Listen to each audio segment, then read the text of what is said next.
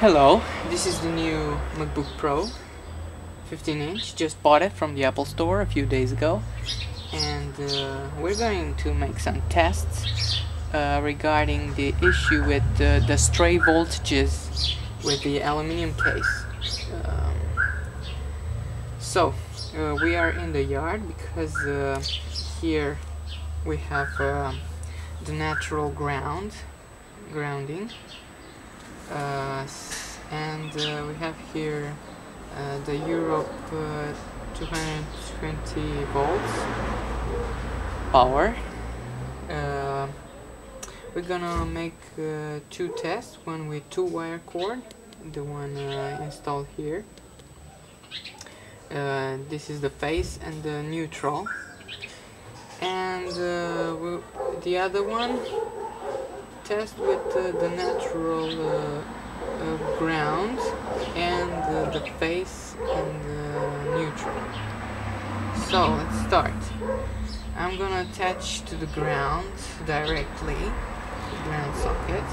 I'll measure the voltages. Please check here the voltages. Uh, so this is the neutral and the ground. We have zero voltage volts, and here we have uh, the phase okay the phase and the ground. Uh, the phase and neutral of course uh, will give the same uh, the same uh, potential okay? So uh,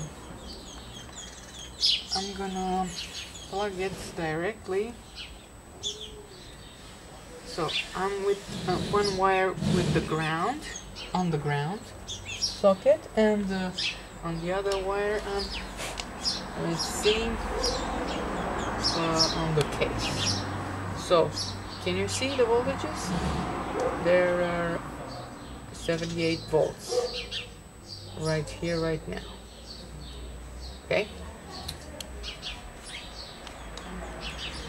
Yeah. Okay. Okay. Let's test it with uh, the neutral from uh, not the neutral, the same ground but uh, on the socket, of course, it's the same. And now let's taste it with uh, the, the, this is the neutral, the case and the neutral, the same thing.